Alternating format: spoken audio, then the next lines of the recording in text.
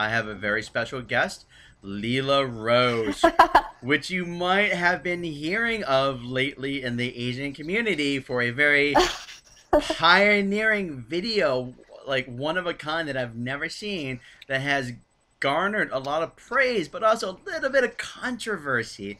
But before we get into that video, which is about like this white girl making out with Japanese guys, Leela, tell our audience a little bit about who you are.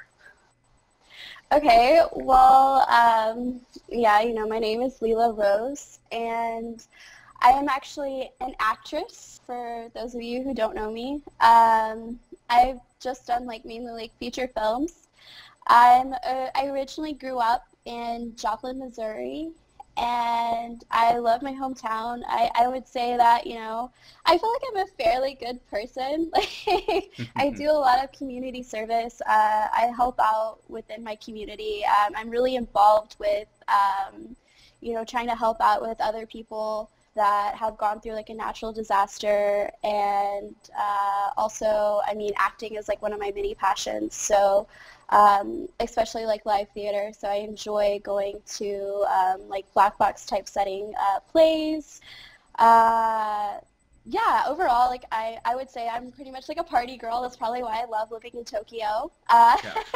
I mean, for the audience, know, like you twenty four seven there. Yeah, yeah. And for our audience, you live in Tokyo. Like right now, you're in Dallas filming, filming uh, something. Yes, and, yes. But you live yes, in Tokyo. Currently, I'm Yes, yes. Currently, I'm in Dallas uh, working with uh, an Emmy Award-winning filmmaker, which I'm really excited about. Um, this is going to be a great opportunity for me. And uh, then I go back to Tokyo in March, which is like my favorite city. so I'm excited. So, so how does a Missouri Midwestern like girl like you end up in living in Tokyo? Like, how did that come about?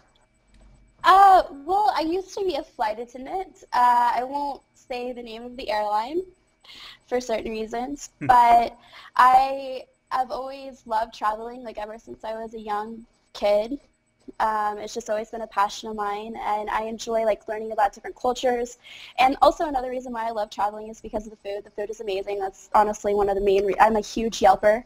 Uh, um, yeah, I just love learning about history and different types of cultures. And I think the best way to learn about you know the history of a different country and learning about other cultures is by immersing yourself in that country. Uh, and that's exactly what I did. Uh, I used to be a flight attendant, and I do a lot of routes to Narita. And uh, if you don't know where Narita is, it's about two hours away from Yeah. Tokyo. That was a really expensive taxi ride for me when I went from Narita to Tokyo. I'm like, oh my god. Yeah, yeah. And it was like a 12-hour. Uh, out of Detroit is where I was based, uh, and that's like about a 12-hour flight all the way. And it's just like it's killer. It's the worst thing in the world. I feel so bad for passengers. I'm like, thank God I'm working this flight and get to walk up and down these aisles because I cannot sit down. Okay. Um, so you so you end up moving to, to Tokyo just because you love the culture and Yeah. you're like, why not? Exactly. Yeah. It, it, Japan is like one of those countries that's just it's so weird and different from Western culture Mhm, mhm. that it's fascinating, you know, and it's something different than what I'm used to. Um, I mean, I think what I grew up with uh, as a Midwesterner, there was a lot of blonde people like me, a lot of people with blue eyes, and so I know that you know Asians they populate most of the world, but for me that's something exotic and. It's something I'm very attracted to. It's something different than what I'm used to seeing day after day after day. So you actually and I have think a that's one of the reasons why I was like so attracted. yeah. So you actually have a preference Huh? for Asian I'm guys. sorry. Yeah. I was gonna say you say you actually have a preference. yes, like I how did that? I'm- I'm just curious. Kind of like we'll, we'll get back on the, on the Tokyo. Like how did that come around? I'm just curious. Like growing up in the mid Missouri, you know, that's not the most common, you know, thing to do.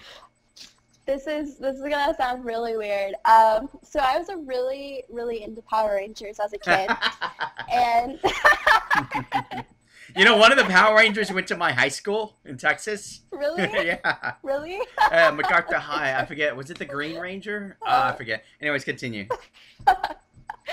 But um, Zach, the Black Power Ranger, um, he's Asian, and I thought he was the coolest thing in the world as a kid. And um, I just, I don't know, like I thought he was fairly attractive. And you know, like as a kid, whenever you're like growing up in media, you know, you might have like your Disney movies that portray like mainly, you know, like tall, dark, and handsome as, you know, the prince type. And for me, like, I thought he was that tall, dark, and handsome type of guy. Wow. And that is just what, that's just kind of like what started it and spiraled off for me to like wow. find that attraction in Asian men. And I guess the majority of Asian men, they have dark hair, they have dark eyes, hmm. and it's just, it's something exotic to me that I enjoy looking at. I, I mean, everybody has their preference. Like sure. guys, like you know they fetish you know they're either an ass man or they're a boob man like yeah, that's just yeah. the way society works you but know? you know what you know hey, hey hey go go power rangers like good for them exactly right? i love power rangers okay so you end up moving to tokyo um and one day you're out in Roppongi with your girlfriend and you yes. and you do a video yeah. tell us how this happened all right. So there's this. Uh, there was like three clubs we went to that night um, prior: uh, Jumanji, Magnet, and Miss. Uh, and you know, we were dancing. We had been drinking. Clearly, it's very obvious in the video. And you know, we were just, you know, it was just two girlfriends like having a girls' night out, um, having fun, and we had just, you know, I had met most of those guys that you saw me kissing mm-hmm. prior in the clubs, I was dancing with them. I was like, you know, you know, being a girl and a single girl. Um, and you know, I had been kissing them prior before actually uh, taking to the streets to, you know, actually, you know, just randomly kissing them. You know what so, I mean? So, in the editing, so just for started, yeah, just yeah. for our audience, you know, because I I do like these educational videos, but also like viral videos and there's a lot of things that sort of get lost in the editing and lost in translation. Yes, yes, exactly. So, you know, one of the controversies has been that you are very aggressive with with what appeared to be like completely random strangers. Like they were strangers to you in the beginning of the night, but at that video, yes. that you had actually interacted with them before. Yes, yes. So like I had interacted with them prior before doing the videos and it was just kind of something like really funny. I guess, you know, whenever you're drunk and yeah. um you know you're under the influence so you're coming up with all these like i guess you're, you're they're like it's like liquid courage noise. so you got all these like creative juices like flowing in your head and uh, for me i just thought it'd be funny if you know i ran right back into them and like filmed them and i wasn't honestly planning on doing anything with it other than you know just documenting it for my travels and for yeah. my experiences and just keeping it for myself um, but yeah no i I had previously spoke to them and like I was dancing with them um, in the club. And, you guys been like flirting had, and you know. Exactly. So we had you know previous experiences with each other with all those guys that you saw in the video. Um, and like in one of them, like I really wanted to put in the video was a guy saying line, line, line, because you know you saw him pushing me away, saying that because that's the thing in in Tokyo. You know everybody in a everybody in Tokyo they use line. They're like, go, drop me your line. You know, what's your line account? And I had gotten everybody's line account. I got mm-hmm. everybody's consent that I and I, I, I let them know what I was doing. And there's yeah. also a portion in the video if you notice, um, I went up to like one of the guys that I like in the car area, and um, it kind of cuts off eh, so people would know that I was giving him consent that I was filming because there's a part of me saying like, oh, I'm doing a video, mm-hmm. and you know. Right, right. And like it wasn't like any of the guys were truly trying to reject you. That was all part of the setup, right? Yeah, exactly. Exactly. And you yeah. know what? I have to give you props for being an American girl in Tokyo and being that assertive and aggressive. Because let me tell you a story of when me and my buddy, one of my trainers, uh, when we were in Tokyo uh, teaching Japanese mm-hmm. guys how to talk to girls, um, we were, you know, out one night and my guy, one of my trainers, sees this American girl. Yeah. Um, this is like in Roppongi or somewhere. It's like 3 a.m. in the morning or something like that. She's sitting on the yeah. street and she's just crying. She is crying. Oh, no. And like normally you don't approach a girl that that is so emotional because you think, okay, she wants to be alone. but he was like, is, is something, what's wrong? Are you okay? Right? He's all Exactly. concerned. And it's like, oh my god, like they you, you like speak English. Like, yeah, yeah, you know, he's, he's his name is Dash and he's uh, from Australia. And it's like, yeah, yeah, we're just here for a week. And it's like, what, what's wrong? It's like, I've been here for a month. And like, she's saying this between sobs. She's like, I've been here for a, a month. And no Japanese guys will be my friend. Like, No one Oh would God, talk to her. why. No one would talk to her. For the entire month That's she'd so been there, she had like made But almost no way it is friends. over there. Yeah. Like, Japanese guys just don't talk to you know females. They're, they it's a very passive aggressive type of culture, Mhm. and they just and, and they work you know 14 hour days, and they just they're so socially impaired. That's the thing that people don't realize about about Japan, like their their population is on a decrease because you know they just they don't know how to talk to each other. It and I mean this is just from an outsider's perspective. I don't represent all of Tokyo. I'm just one woman, but as a as an outsider, that's what I have noticed. You know, there a Mhm. lot of Japanese men are very socially impaired when it comes to talking to women. So I understand where she's coming from, but I've also been told that you know a lot of a lot of Japanese men, especially in Roppongi, Mhm. if you know Roppongi, you know that area very well and what Yeah. you know else goes on there. And um, a lot of guys are very luck- reluctant to talk to very pretty foreigner foreign women because they think they're wo- working girls Mhm. and that's just that's just the reality of it. That's Roppongi. It's a fun area, but it's a very you have to be careful, you know, because that's the Yeah, case. You yeah. know, there's a lot of working women out there Yeah. that I mean, are you know foreigners what? that will try to grab you into the bars. yeah, I mean, you know, the the game in, in, in Tokyo and just Japan in general was very different um, than Mhm. in most places. I remember when we were trying to do what we call a day game, which is like talk to girls like in the day, you know, whether it's at a store, at the mall, like literally women would run away. like they just don't want to They talk to complete strangers. Like you could do that in America, no problem. Like if you're Yeah, a, a decent, cool, like decent guy, you don't look like you're homeless or trying to sell or anything. People will have a normal conversation with you. There's like this really weird rule in Japan. You're not allowed to hit on women at restaurants. So like even if Hmm. you're at a restaurant bar, you're not even allowed to like go up to them and like flirt with them and hit on them. I don't know how because I don't speak Japanese, but uh, like fluently anyways. But you know, from what I've noticed, uh, it, it seems to be pretty true though, because I never see Japanese men trying to hit on Japanese women whenever I'm in a restaurant. And sometimes, occasionally, like you'll see, you know, a little banter between um, men and women here in the states. You know, at a restaurant, like sometimes you'll see like guys like send over notes or send over like you know like drinks or something if they find a woman attractive, and that's you know a classy way to go about it. But I just always thought that was kind of odd that you know you're not allowed to hit Yeah, like I said, I mean, you know what? It's it's um like I said, it's why I was there to teach guys um and you know, you you had fun, but it, it was quite a bit of a, a Yeah. culture culture shock to you. Like how do It you was. find like yeah, how do you find dating a, a, as an American girl in, in Japan? Oh, that is a very interesting topic. I could probably start a like a comedy routine off of like just some of the stuff that I've personally experienced off the dating culture in Japan,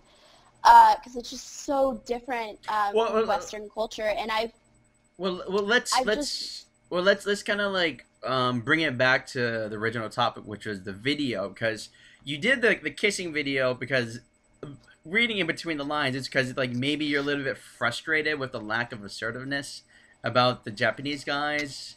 Like you had I to be more suppose so, yeah. Yeah. Yes, you owe like as a as a woman in Japan, um, it, the dating culture is very it's very odd. So like you can't.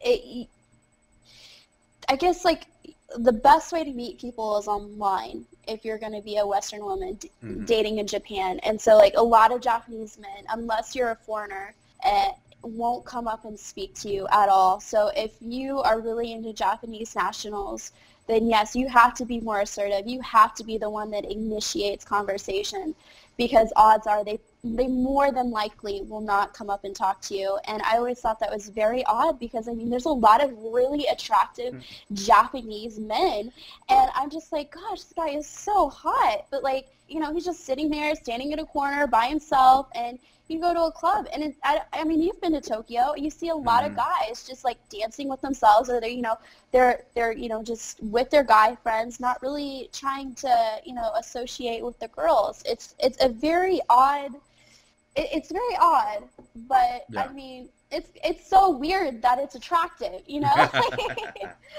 sure. I don't Um, know how else to explain it Yeah. So so getting so getting back to to some of the comments to the video, I think like uh the fact that you're assertive, you know, assertive in this culture because you have to be. And I think that's that's a, yes a have great- that's a great thing and I'm sure like you had a lot of like guys who are like, you know, you go girl. It's it's so great to see like a girl be not only be attracted to Asian guys, but be so attracted that you're willing to take action, right? As opposed to be passive to actually show that.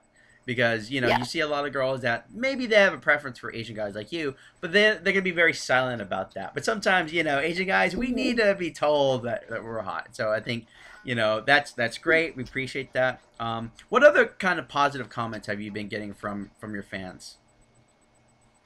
Um, I've been getting a lot of uh, a, a lot of positivity um, from a lot of different people, basically telling me, you know, like we're really proud of the fact, you know, that you're right, you're like representing American Asians, and uh, I mean, even though I filmed the film in Japan because that's where I was at at the at the given time, but uh, like I, I have this message for people, you know, that I want to promote.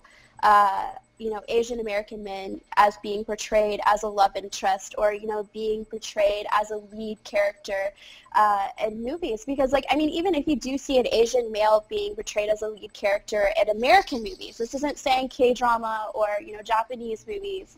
Um, this isn't strictly American movies. You see them more so if they're not a ninja or a samurai, odds are they're the dweeby, geeky character. I mean, take Big Bang Theory, for example, you, and I know that mm, that show is consisted of nothing of nerds, and that's why everybody loves that show. And it's a very funny show. But you you see Raj's character, right? Rajesh's character, and um, he's he's viewed in a light where he can't even talk to women, you Right. know, and he's viewed as the nerdy, unattractive character. But you look at him in real life, and I mean, even on that show, he's very, he's a very attractive man. Like, I mean, he's tall, he's dark, he's handsome. Like, I mean, he has nice cheekbones, you know, he has nice skin. He's just, he's a, he's a beautiful man.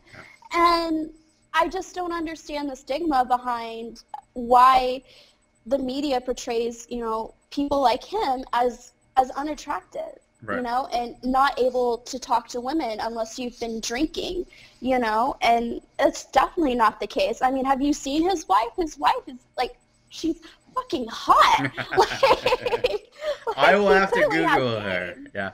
You know what? I, I, I'll say this because I, I was just thinking about that. You know, like you're saying how Asian guys aren't necessarily per- portrayed as, as male leading roles. I think the interesting thing about at least about your video, right, is the fact that you your intent was to portray Asian men as an object of desire, right? Like, it's Of so much desire that you quote unquote lose control and have to like jump them. Oh, And so that was like very unique, and I think that that's a great thing, and I'm glad that your fans recognize that. Um, but Yeah. also on the flip side, we had some some people that found it controversial.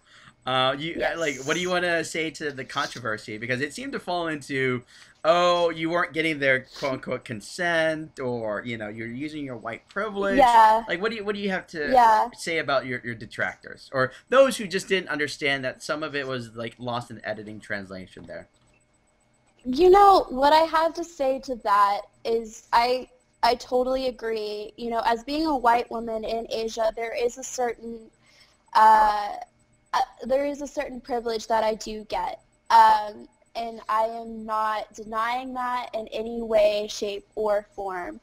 Um, I've been to lots of clubs. I've been to lots of bars and, as a white woman, and I've passed up like lines that have been wrapped around the building. and I've seen beautiful Asian women standing in line, and I'm like wondering why am I getting in ahead of them? And a lot of it has to do with the color of my skin, and that's just the way it is in Asia.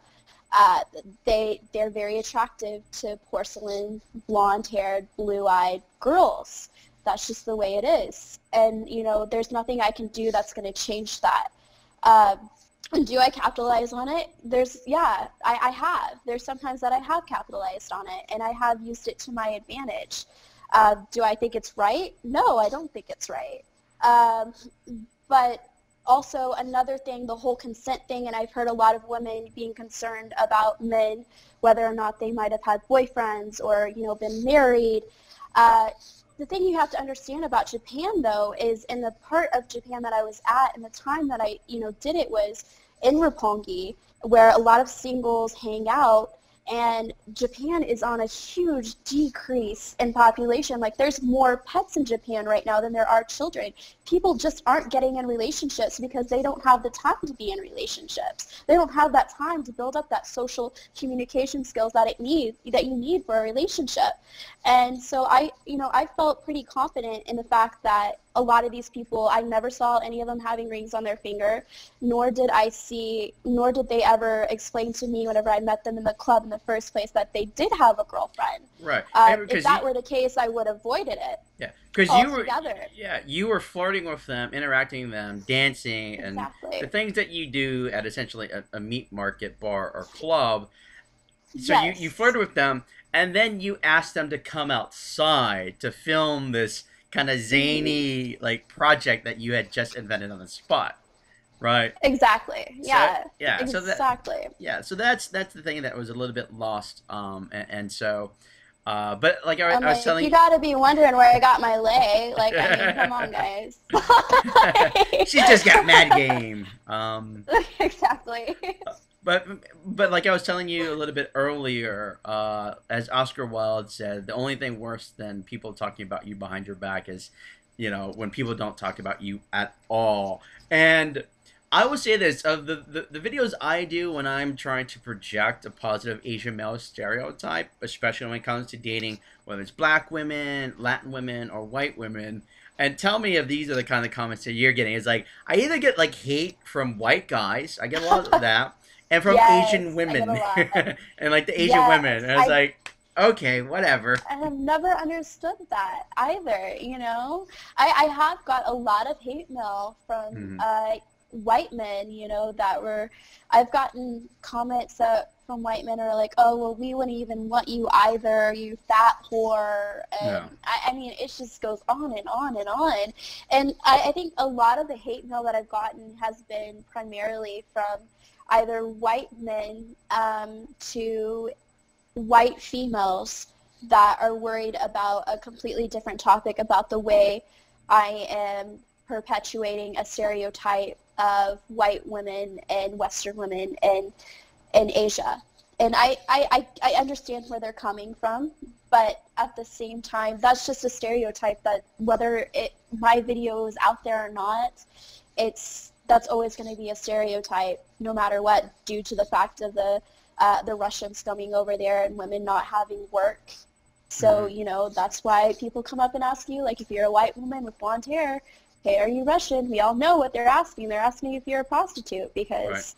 That's just that's just history. Like we have staple marks in history where where stereotypes um, start from, and that's just one of them. That's just it's just never going to end.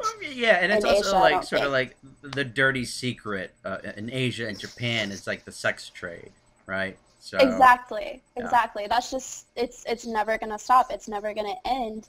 And also, I mean, it, it goes for a lot of different things, like in history, you know. And it, it's sad that it's that way, but there's nothing that's going to stop that like you know?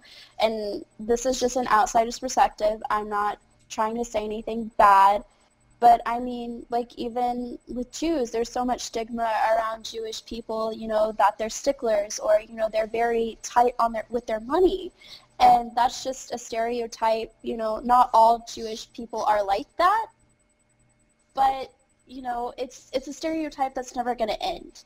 Right. You know, no matter how hard you try. Sure, sure.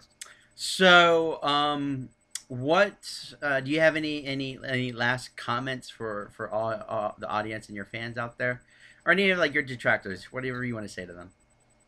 Um, the main thing that I have to say is that I really hope uh, that my I know that my you know, some people were offended by my intentions, and I really do apologize about that. If you were offended by my video, um, that was not my intention at all. Um, I just, I really hope to see uh, a lot of leading men, uh, uh leading Asian men and American films. Like, that's what I want to see. I am sick and tired of always seeing, you know, the white man as you know the love interest. And i mean this goes for the same as other races too because i mean there's other races that are fairly attractive. They can act. They have the skill sets to do so.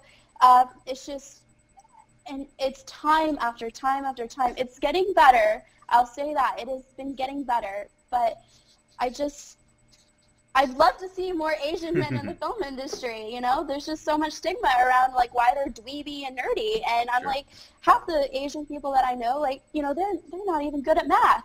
Like, you know what I mean? But they're great lovers, right. and I, you know, I'd love for that to, you know, the real life, you know, transcend into the media and the film, so you guys can build up that reputation of you know, being, you know, amazing lovers and being romantic and because you guys can be and I've seen it. I've experienced it firsthand. So um, I just I don't understand the media and I guess it is what it is. sure, sure. I, I would say this. I, I think, you know, the the pioneering spirit of the video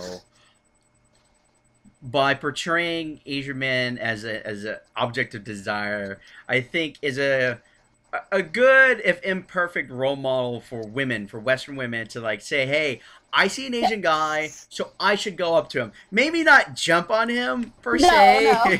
but be assertive to say i, I find him as yes. an object of desire and lust and i should go up there and again mm-hmm. like you said that you had met these guys before you know on camera yeah. you know off the camera and then you just yes did this the the sketch, if you will, on camera. So that exactly. that was lost in translation. But you know, mm-hmm. to our female audience that are watching this, if you see one of us Asian guys, come up to us. Like I will do the work, but I also know like a lot of my non-students, you know, those few you Asian guys that haven't yes. taken my course, like you know, be assertive enough. But for all the girls, like Leela here, you know, I'm glad that there are girls that are more assertive and more attractive to Asian guys.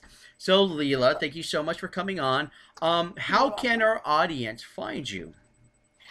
Um, you can find me on my YouTube channel. You can, uh, I think it's Fly Girly one two three four. I also have Instagram, uh, Fly Girly one two three four, or you can look me up on Facebook. You know, Leela Rose, and be sure to follow me. I think I reached my maximum amount of friends, but by all means, please, please feel free to follow me. Um, I have big projects coming up, and um, I hope you enjoy it. right. We will be putting it in the YouTube box, guys, so be sure to check it out and subscribe to Leela Rose. All right. Hope to see more wonderful content, and thank you so much for fighting the good fight and for clarifying uh, everything for our audience. Thank you so much, Leela. Absolutely. No problem. Bye-bye. Peace out. Bye. Hey there, thanks for watching our video. I hope you liked it. And make sure you guys subscribe to this channel and watch all our other videos. Great news too. Every Monday, we'll be putting out a new weekly video. That's right, we've got educational seminars, street interviews, uh, fun infield pickup videos, and anything else we can come up with that's fun for you guys to watch. So check back for that every Monday. Oh, and if that's not enough for you, remember that for the last 10 years, the ABCs of Attraction have been the finishing school for Asian gentlemen. So we've been teaching guys how to be better boyfriends, more confident, and better husbands. If you need that extra push, you can enroll in one of our classes. But until then, we'll see you every Monday. Bye!